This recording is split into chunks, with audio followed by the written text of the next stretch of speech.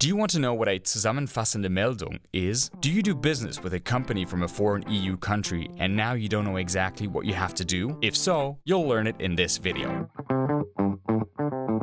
Hi, my name is Melchior from Kontist Tax Consulting, and the EU is quite intertwined as far as VAT law is concerned. This means that it is relatively easy for businesses to exchange goods and services within Europe, but the countries in the EU have the problem that they somehow need to have an overview of who is doing business with whom, i.e. which company in which EU country is doing business with which company from another EU country. The report about which sales are made there happens within the framework of the so-called zusammenfassende Meldung. But what do you do in order to have business relations with other companies from other EU countries? The most important thing is the so-called UST identification number. How you apply for it, you can see step by step in this video. At this point, very briefly, there are actually two ways in which you can apply for it. Either you apply for it directly at the time of incorporation, and while filling out the questionnaire for tax registration, you can simply tick the box, yes, I need a UST number. If you didn't do this directly at the time of incorporation, you can do so at any time on the website of the Federal Central Tax Office. Important at this point, you absolutely need this number. If you have business relations with other companies from other EU countries, both as a customer and as a supplier,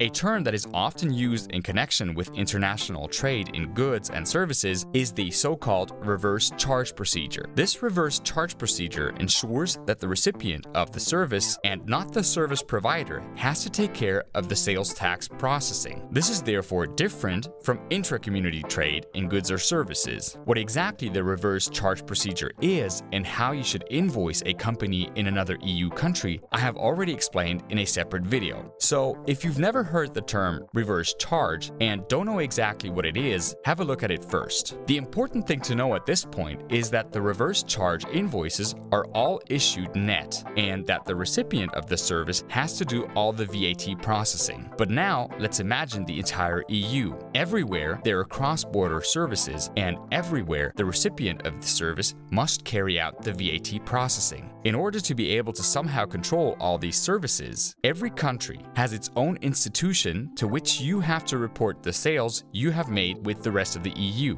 In Germany, this is the Bundeszentralamt für Steuern, so the Federal Central Tax Office, and it can reconcile with the other EU countries whether the sales tax report actually took place. And that report from you to the Bundeszentralamt für Steuern is the so-called Zusammenfassende Meldung. This means that you always have to submit a Zusammenfassende Meldung if you made sales with your company from other European EU countries. If you didn't do any sales with a company from another EU country in a quarter, you do not have to submit a zusammenfassende Meldung. In principle, the reporting period for the zusammenfassende Meldung is always the quarter, unless you exceed 50,000 euros in total sales per quarter. Then the reporting period changes to monthly. The deadline is always the 25th after the reporting period. This means that if the reporting period for you is the quarter and you make the zusammenfassende Meldung for the third quarter of 2021 ending on the 30th of September, the deadline is the 25th of October. You can submit the zusammenfassende Meldung either online via the Elster online portal or via the online portal of the Federal Central Tax Office. You have to provide some data about yourself, name, address, your own Umsatzsteuer identification number, and the sales tax identification number of your business partners. Also, the amount of the turnover as well as the type of turnover. It is important to note that you are responsible for the correctness of the VAT number of your business partners. If you have an incorrect VAT number for your business partners for whatever reason, the tax office can come to you and demand the Umsatzsteuer. Actually,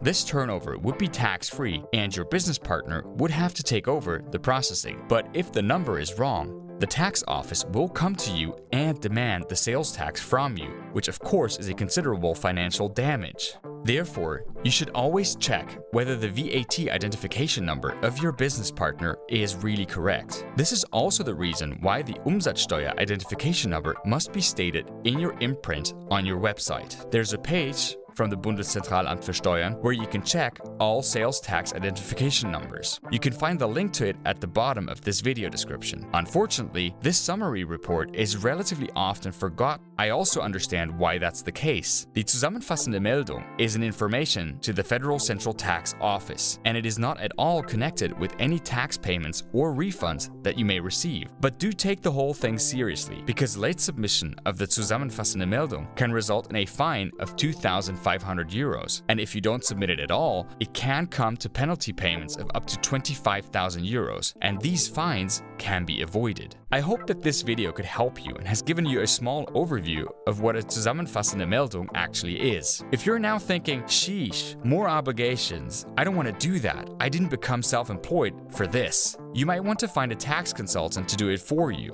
We would be very happy to do the zusammenfassende Meldung for you. You can find all information about our services and how we can help you here. You're also very welcome to take a look at our online community. What it is exactly and how you can sign up, you can find out in this video. Or have a look at our other videos such as this one.